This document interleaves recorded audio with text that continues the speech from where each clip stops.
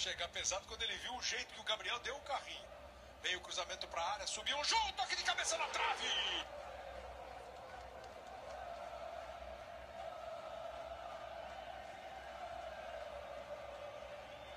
Agora o Corinthians vai tentando ficar confortável. Ele numa boa jogada do Marcial. Entrou na área, rolou pro chute que vai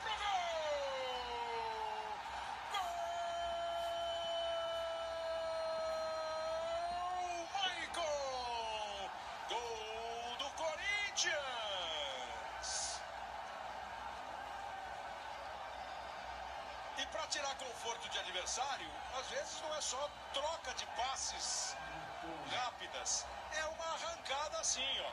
E ele foi para a área e já tinha agora há pouco feito uma jogada parecida, ameaça cruzar e dar um bom corte.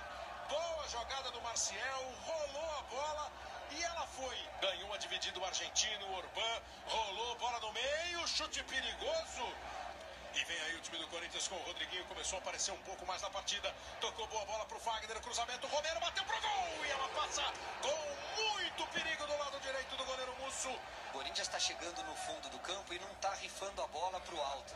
Ele está vendo o posicionamento daqueles que chegam por trás e estão fazendo o passe. Aí o Fagner.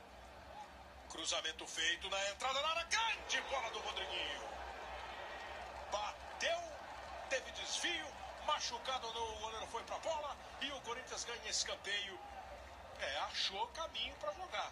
Esse tipo de cruzamento é bacana, não é aquele cruzamento lá pro alto para pro Jô brigar lá do jeito que tiver que brigar. Essa vem e tinha endereço, hein?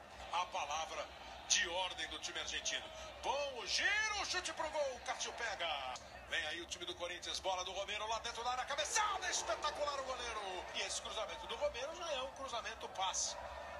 Ele fica com a cabeça meio baixa bastante tempo, mas de vez em quando ele dá uma olhadinha. E essa ele deu um cruzamento.